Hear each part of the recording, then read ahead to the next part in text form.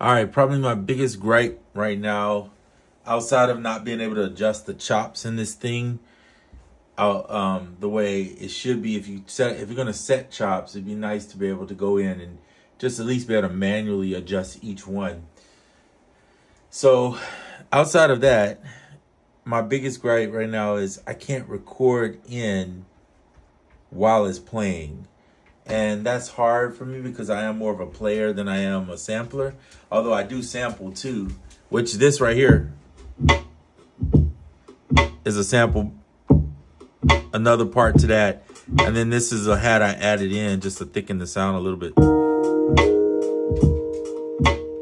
So I, I mean, obviously I'm, I'm gonna turn that down a little bit too. It still, still seems loud.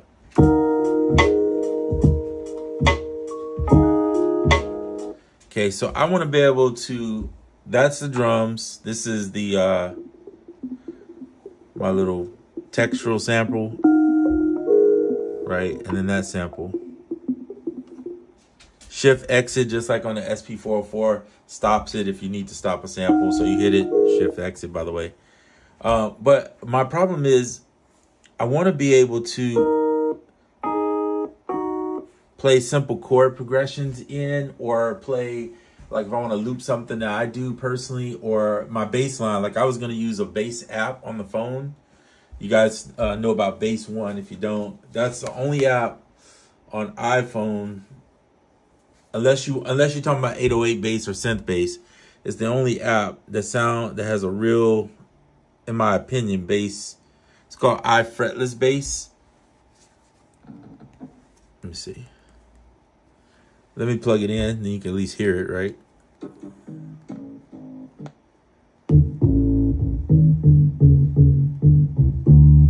Let me make sure the MIDI off is on in here because all inputs. Yeah, that won't work. We'll go none because otherwise it'll, we'll go none. The MIDI. I don't want the MIDI uh, messing up with the.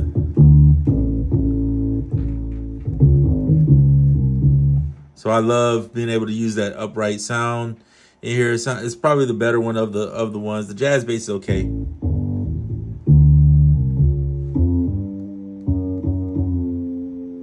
I like that. So.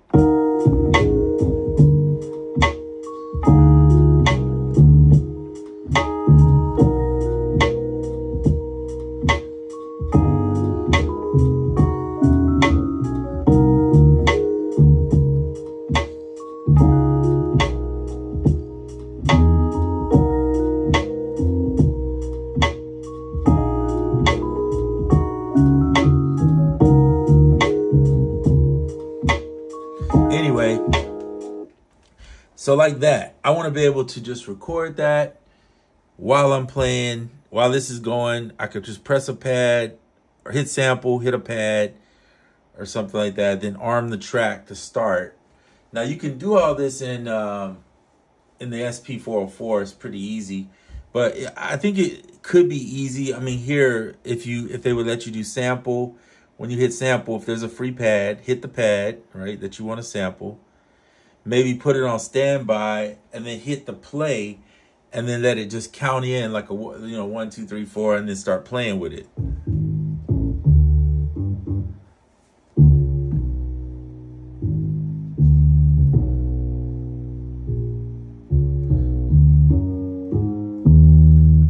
So anyway, I want to be able to do that because then I can take my phone. This works on the iPhone also. And I can do like little simple bass runs on the phone, which I'd be fine with. And then I just send all these parts out to Koala to sequence the full song because you only got four bars in here, so you're kind of limited. But it would at least give me a starting point to be able to do that. So that's my hopes is that they in the next update they'll do a few things. One, let me be able to play while I sample in. Um, obviously, I would love to use the sample rate on here to pass audio through in a lower sample rate. So we just play stuff and let it go through. Then you get more out of this uh, sampler, uh, other than just sampling in. Um, and then the last thing I think I mentioned this already before um, is the sample chops. You got to be able to adjust. Yeah, I mentioned it. So the sample chops, you got to be able to adjust sample chops if you're not gonna give us like um you know some type of threshold chopping. This equal chopping thing is okay. Um, lazy chop would be kind of cool if they could do it. You got a keyboard down here so there's got to be you know turn it into lazy chop and then you can like just chop the samples while it while the sample plays or something. Just to make it easier to um to use the stuff but the problem I have with the chopping is even after I get it set up, I can't go back and just sequence the chops. I got to play the chops. That's the only way. And it's not that I don't want to play them, but sometimes I just want to sequence it. I like the idea of having a sequencer, right? Anyway, it is what it is. All right, so that's it for this video. Just wanted to talk about my little gripes. It's not huge. It's not impossible to make music on here. You can really do some good music on here. Um, check out Rephazer's uh, channel, R E P H A Z E R.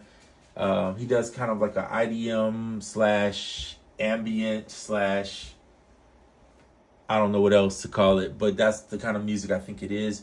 But he did he did a whole session where he showed where he's record playing his songs that he just put an album out on Bandcamp using this. That's what he did. This, and then he has his little um, teen, Teenage Engineering mixer, the little TX6.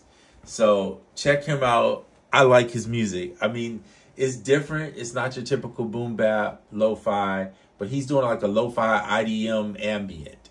And I think it's just really cool to see somebody doing something different on it. And yet the fact that he did a whole album with this is super intriguing to me because it's a different world for me than playing with you know just being on the computer where I have more freedom. I can easily record um, my songs a lot better. But anyway, just wanted to talk about that a little bit. I'm using the iPad, which is nice to see because I don't use it often, so it's kind of cool. All right, guys. Until the next one, I'm out.